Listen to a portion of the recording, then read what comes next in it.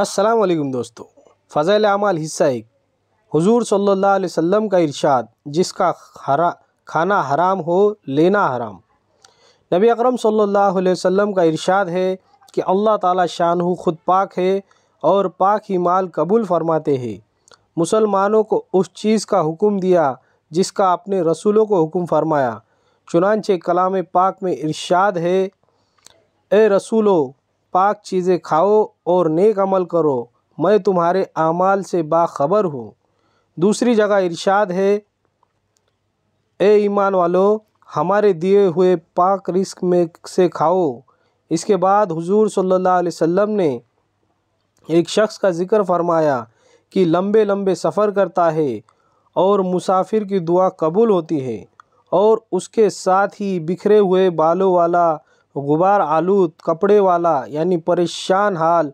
दोनों हाथ आसमान की तरफ़ फैला कर कहता है, ए अल्लाह ए अल्लाह ए अल्लाह।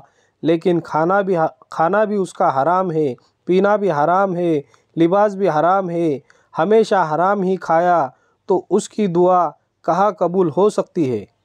फ़ायदा, लोगों को हमेशा सोच रहता है कि मुसलमानों की दुआएँ कबूल नहीं होती, लेकिन हालात का अंदाज़ा इस हदीस शरीफ से किया जा सकता है। अगर अल्लाह जल्ल शान अपने फ़ज़ल से कभी काफिर की भी दुआ कबूल फरमा लेते हैं, चजाई की, फासिक की, लेकिन मुत्तकी की दुआ असल चीज़ है। इसलिए मुत्तकियों से दुआ की तमन्ना की जाती है। जो लोग चाहते हैं कि हमारी दुआएँ कबूल हो, उनको बहुत ज़रूरी है कि हराम माल से एहतराज़ करे। और ऐसा कौन हो, ऐसा कौन है जो यह चाहता है कि मेरी दुआ मकबूल ना हो? वीडियो पसंद आए तो वीडियो को लाइक करें और ऐसे वीडियो देखने के लिए हमारे चैनल को ज़रूर सब्सक्राइब करें। जजाकल्ला खैर।